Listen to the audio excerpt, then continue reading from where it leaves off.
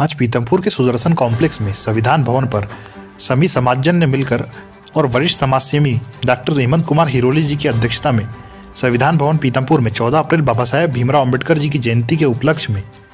Doctor Baba Saheb Ambedkar जन्मोत्सव समिति के तत्वाधान में मीटिंग आयोजित की गई। उसमें सभी संगठनों के पदाधिकारी और कार्यकर्ता सम्मिलित हुए। सभी ने अपने अपने विचार व्यक्त किए और 16 अप्रैल 2023 दिन रविवार को बाबा साहेब अंबेडकर की जयंती के उपलक्ष्य में रैली और भव्य चल समारोह और सभा का कार्यक्रम आयोजित करने का निर्णय लिया गया,